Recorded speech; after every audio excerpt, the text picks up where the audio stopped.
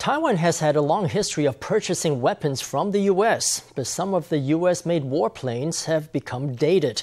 In an exclusive interview with FTV, the head of the Veterans Affairs Council, Feng Shih-kuan, said that the next generation of indigenous fighter jets is just around the corner. 我在当这个董事长的时候，我们已经在做这个计划了。Back when I was chairman of Aerospace Industrial Development Corporation, we were already planning this. Also, I can tell you that we have even conducted wind tunnel tests already. In terms of new generation fighter jet engines, our capabilities are still a bit lacking. If we can achieve a breakthrough in that area, I think that developing the next generation of fighters will be no problem. I have already reported to the President on this, and the President places great importance on this issue.